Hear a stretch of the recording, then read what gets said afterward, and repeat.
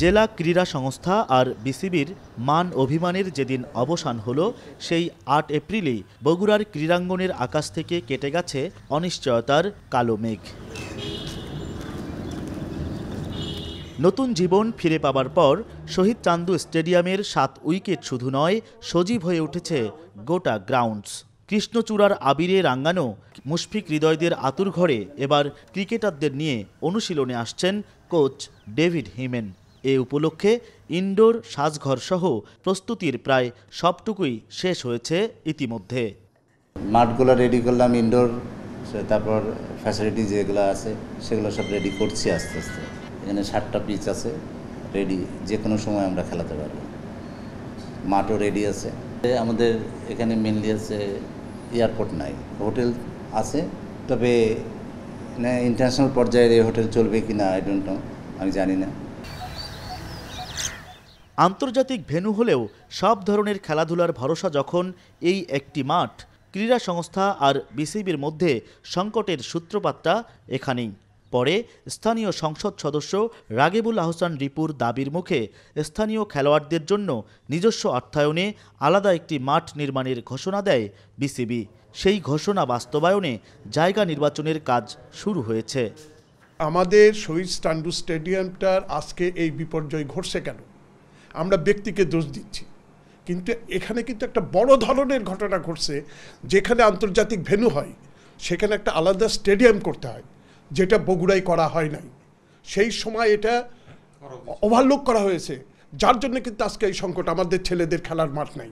এই কথা যখন আমরা বিসিবির সঙ্গে বৈঠকে বলেছি, তখন কিন্তু তারা অঙ্গীকার করেছেন যে আমাদের জায়গা ঠিক করার জন্য তারা একটা আলাদা মাঠ বগুড়ার ছেলেদের জন্য দিয়ে দিবে। কালীবালা মৌজায় আমরা জায়গা দেখেছি এবং যাদের জায়গা, তাদের সাথে আমরা তালিকা করে তাদের সাথে আমরা কথা বলছি, যেহেতু এটা বাজার দরে জায়গাটা ক্রয় করা হবে। সেটা কাজ চলমান এবং আমার আমার বিশ্বাস যে খুব অচিরই আমরা এটা করতে পারব। আমরা চাচ্ছি যে আগামী জুলাই, আগস্টের মধ্যেই এই জায়গাটা ক্রয় করে এখানে স্টেডিয়ামের কার্যক্রম বিসিবি করতে চাই। জেলা ক্রীড়া সংস্থার সহযোগিতায়। শহীদ চান্দু স্টেডিয়ামের গ্রাউন্ডসে আন্তর্জাতিক মান রক্ষার ঘোষণাও দেয় বিসিবি। সে অনুযায়ী স্টেডিয়ামটির বেশ কিছু সংস্কারের প্রস্তাবও দেয়া হয় বিসিবিকে।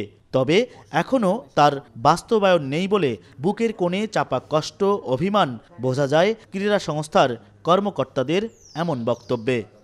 এই স্টেডিয়ামকে একেবারে আন্তর্জাতিক পর্যায়ে রিনোভেট করা। আমাদের কিছু সংস্কার কাজের আমরা কিন্তু প্রস্তাব দিয়ে রেখেছি বিশেষ করে ড্রেসিং রুম থেকে শুরু করে আমাদের যেই স্টেডিয়ামের চতুর্পাশে যেই গ্যালারিটা আছে এইটাকে রিনোভেট করা। যেহেতু আগে কিছু এসি খুলে নিয়ে গিয়েছিল সেগুলো আবার এখানে স্থাপন করাটা আমরা বললে আমরা নতুন করে আবার সেটা করছে।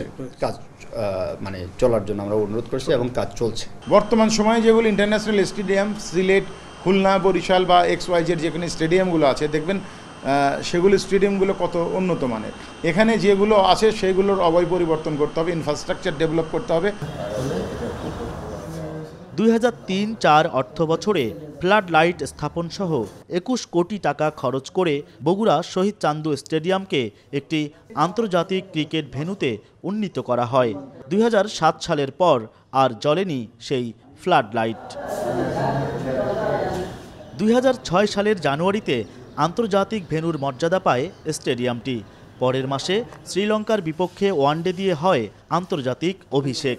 ওই বছরের ডিসেম্বরে জিম্বাবুয়ের বিপক্ষে ওয়ানডের পর আর আন্তর্জাতিক ম্যাচ পায়নি এই স্টেডিয়াম। সুনীল গঙ্গোপাধ্যায়ের কবিতার পংক্তিতে কেটেছে তেত্রিশ বছর আর আন্তর্জাতিক ম্যাচের অপেক্ষায় শহীদ চান্দুতে কেটে গেছে ষোলো বছর।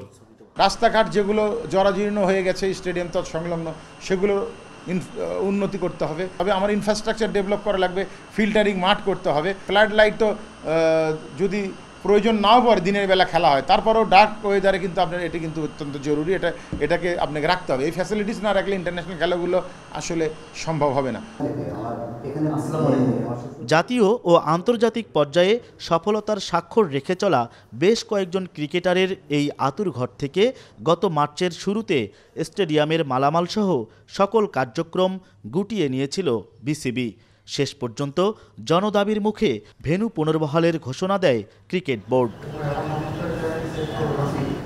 হেদায়েতুল ইসলাম বাবু, এখন বগুড়া।